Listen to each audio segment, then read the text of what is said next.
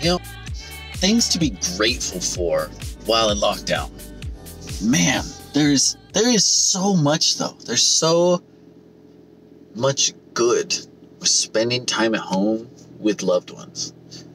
Like if you're alone right now and and locked in your apartment, if you're alone, this is a time for you to go inward. This is a time where you have the opportunity to get in touch with you.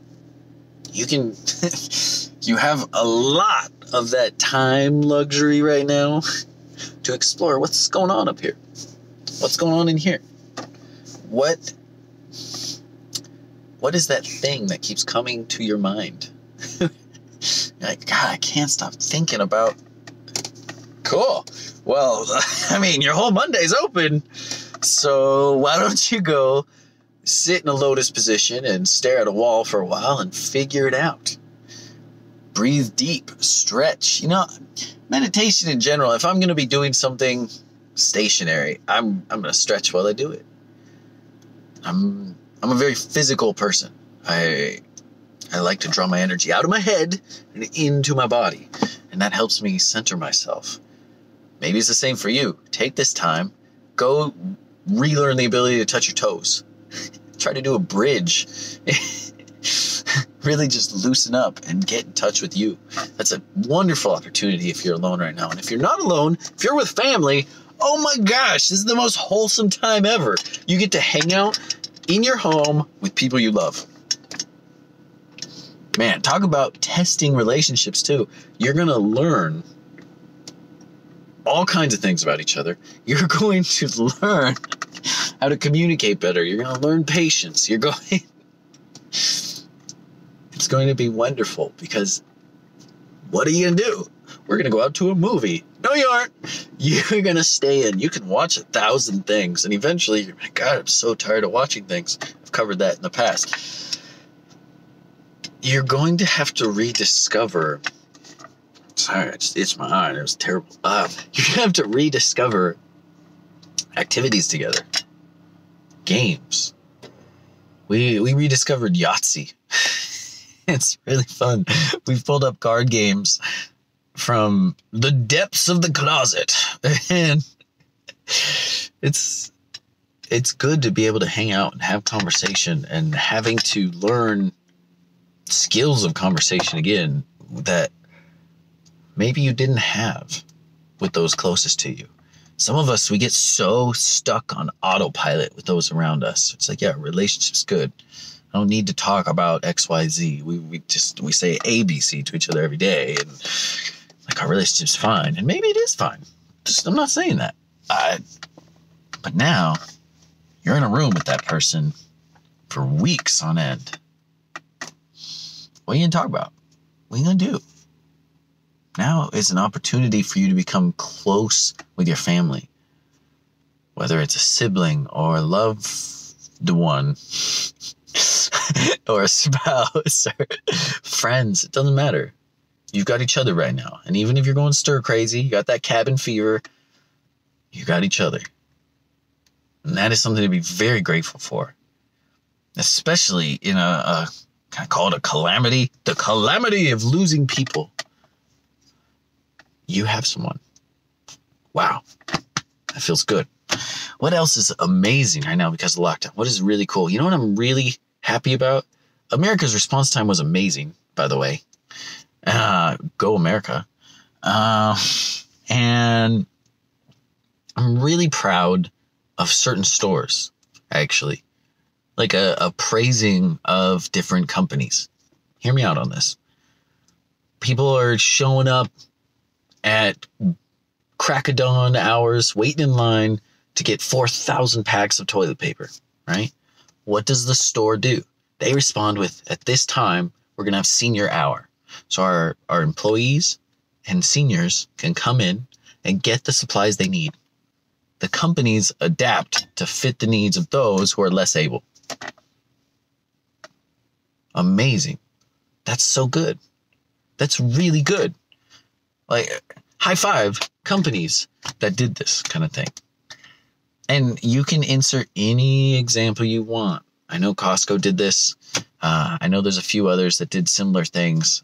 I, I just Like that to me is a working economy. That to me is exactly what capitalism does.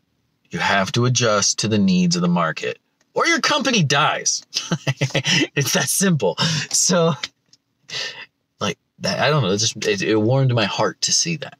I was very, very happy with that.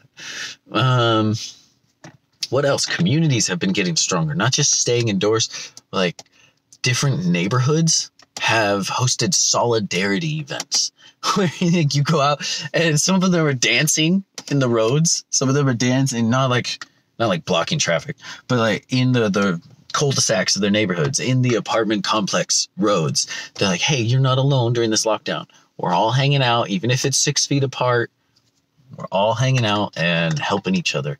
Neighbors know each other's names right now. That's good. People are reaching out. Are you doing okay? Do you need anything? I have extra toilet paper. Do you need toilet paper? How you holding up, Miss Elderly Lady? Who I only ever see randomly as she sticks her head out the window, but I actually know her name now. Wow. So communities have thrived. People have been helping other people. That's good. That's something to be very grateful for. In all this time during the lockdown, there are many, many things to discover that are good, wholesome, pleasant to think about, pleasant symptoms of being stuck in the same place. Coffee's not bad either.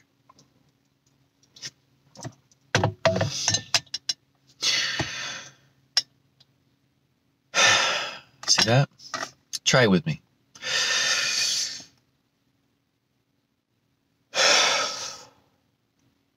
You can just breathe. Whether you're working from home, you're working half hours, you're not working at all, whatever the situation you're in, you can afford to just stop for a second.